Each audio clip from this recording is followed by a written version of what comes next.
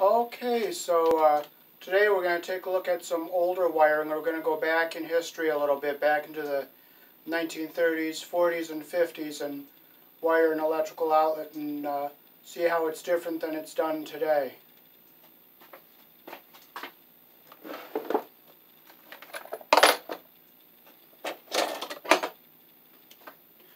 So back in the day we had uh, two wires without a ground plain white and then the uh, one with the, the four darker tracers in it. See the tracers in the wire? That's like our black wire today. And the one without a tracer in it is the neutral. And uh, this is all number 14. So I'll strip the wires so you can, and I'll show you the insulation.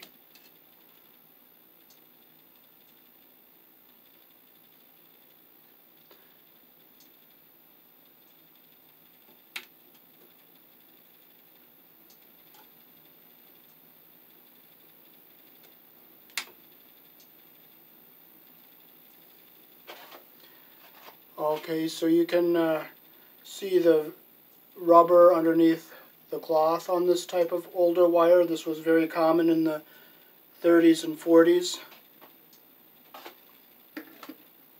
So this is going to be the power coming in and this is going to be the power going out.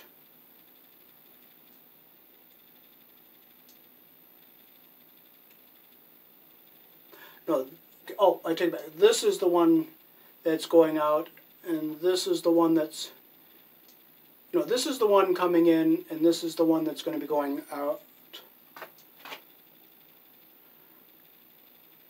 So we turn this knife switch off. Okay, this is the wire that's going out, this is the wire coming in. So this is going in.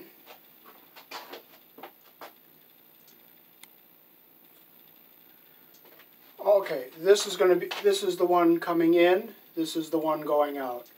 So this is in, and this is out.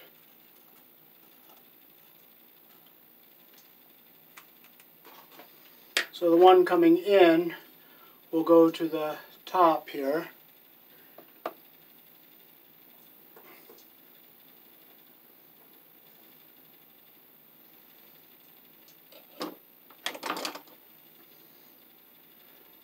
So we'll take the one with the tracer on it, make a loop the direction that the screw turns, and it would go under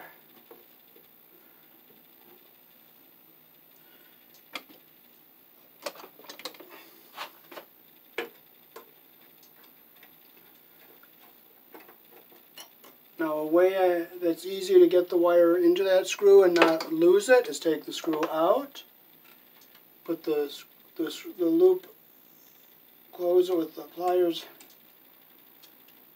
make your loop, put your screw into the loop, snug, and put it in your hole screw it down and again just make sure the insulation just butts up to the bottom of the screw but doesn't get under the screw.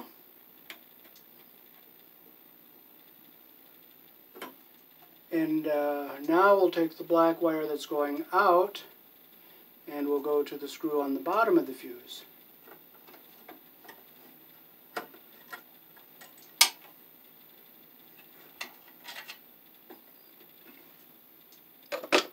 Again, we can make a loop in the wire the direction that the screw goes, turns. Put our screw in the, the loop around our screw. Close it so that the screw will hold it. And see how I have the loop going the direction that the screw turns?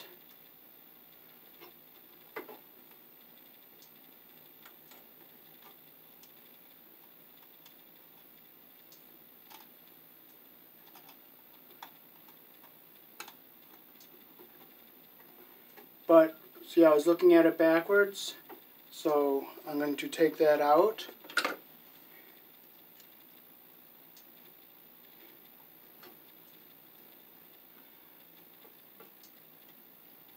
and I'm going to uh, see I'm looking at it backwards. I put the loop on the wrong way so we'll turn it. Now it's going on the right way because I was looking at it backwards that's a very easy mistake to make so that's why I'm showing that to you. And I made the loop so the whole the wire fits in it nice and snug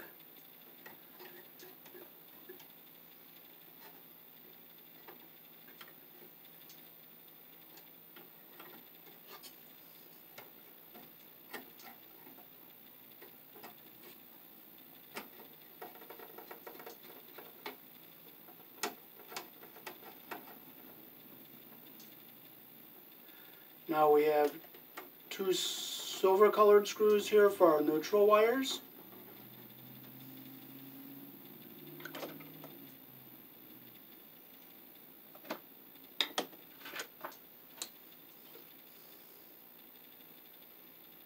Okay, we can make a loop the direction that the screw turns.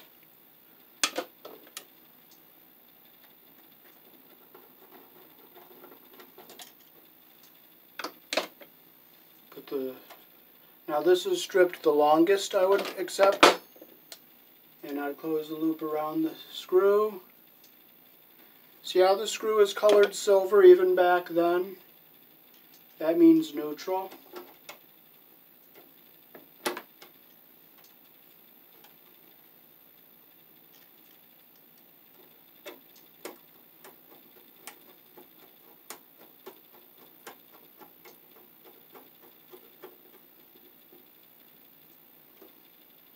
Okay, there's our other white wire. It's going to go down here.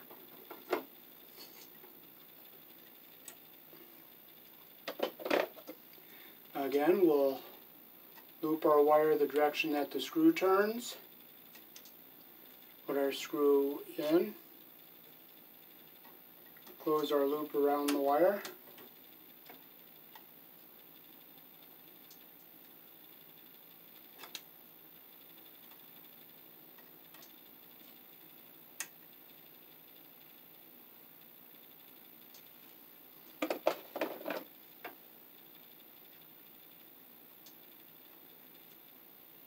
Make sure the insulation's not going to get pinched under there. And it will go up here on the neutral.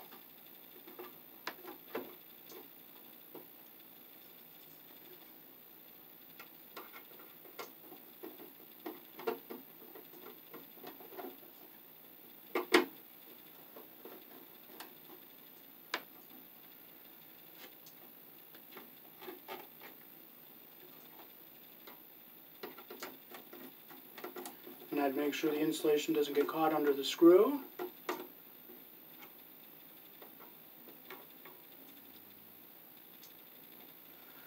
Alrighty. So we'll close the fuse box for a minute.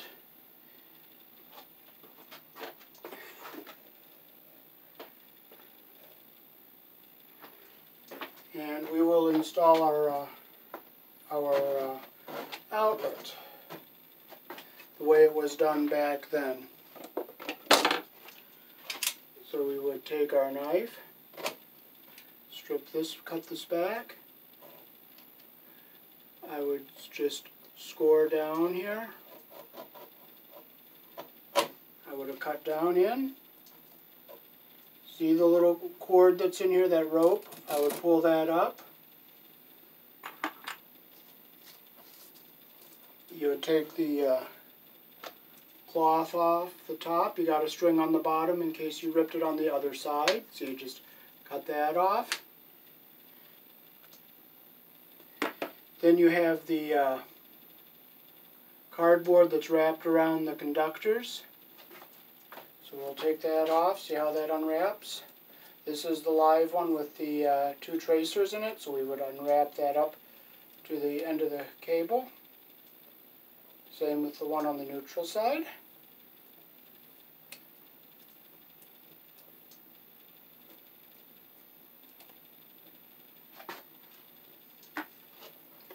We would cut the uh, cloth off, or the paper off. And we would mount our box.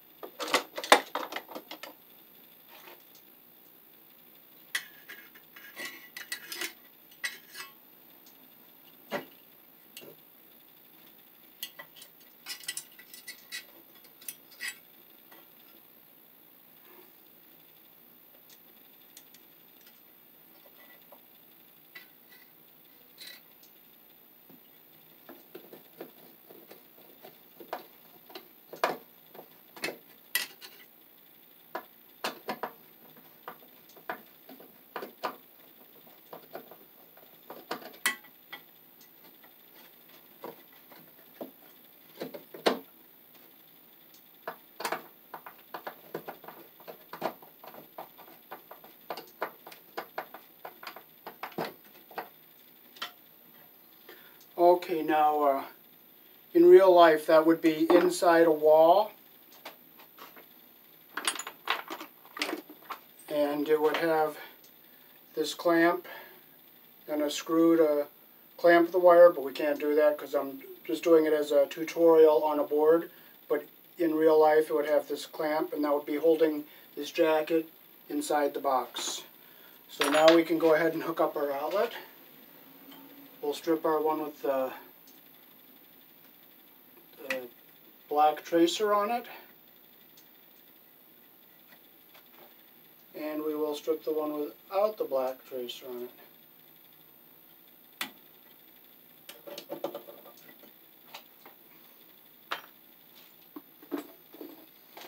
Now back then the outlets were all uh, two prong, brass screw, silver screw.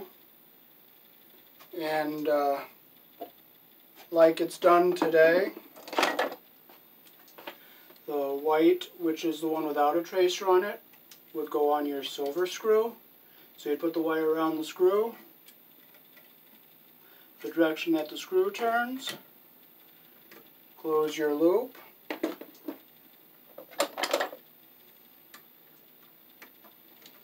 And you would tighten it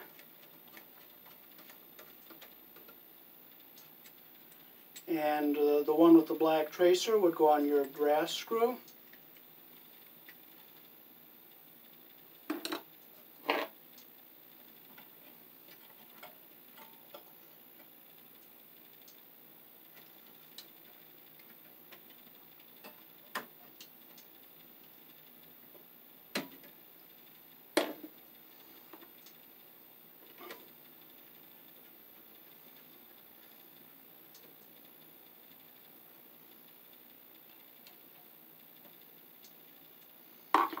And now we could go ahead and put our fuse in.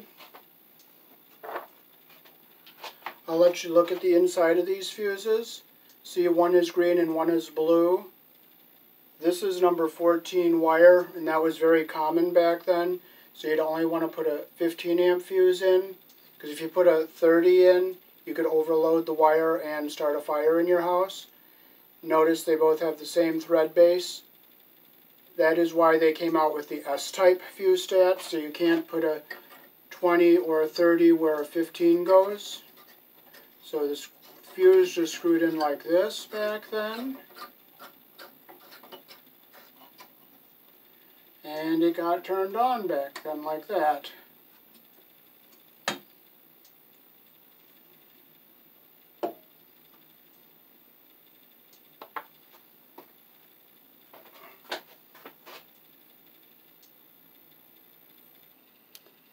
Get a closer up view of what it looks like done.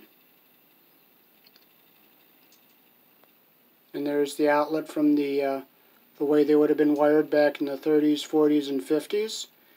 Back in the 30s they would have been probably porcelain, but they looked the same as this Bakelite one, probably from the uh, er, late 40s, early 50s.